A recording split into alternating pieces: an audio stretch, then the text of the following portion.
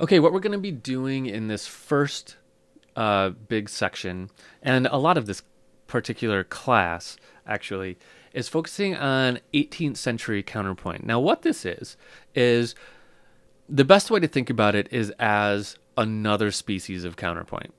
Um, it's a variation of kind of elements of all the different species we've learned. So there are not strict new rules other than a few little things, but there are um, kind of elements of each one.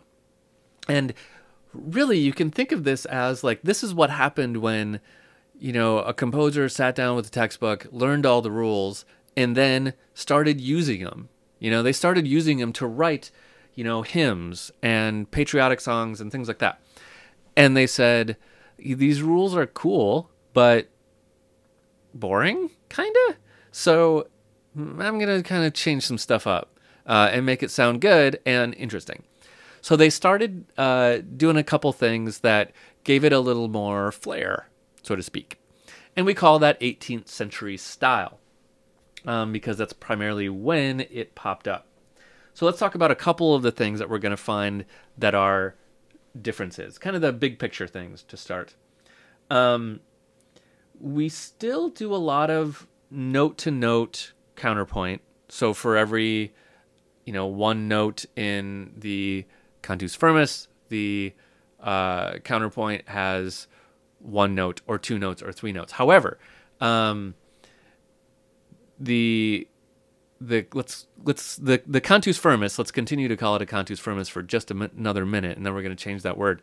But the cantus firmus has uh, is not strict whole notes.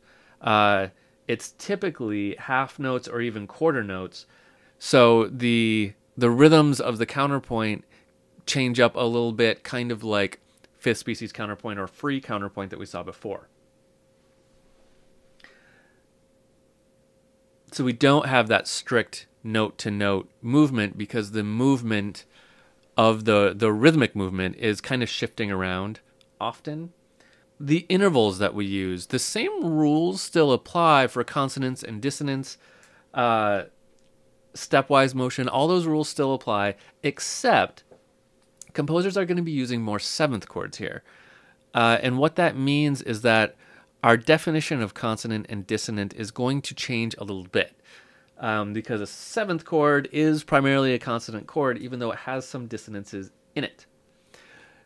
And by using a seventh chord, in these pieces, uh, it gives the piece more forward momentum. I think that's one of the things that composers were trying to get away from, is that in traditional counterpoint, uh, things don't push forward like they do in a song, not till the very end. You know, at the very end of those counterpoint examples we looked like, or that we looked at, it felt like there was a good, like, okay, that's the end.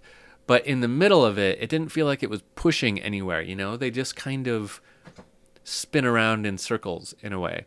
And what composers really tried to do with this in this 18th century style is make the whole piece of music feel like it was heading in a direction, like it was moving forward, um, leading towards the end. So seventh chords help with that.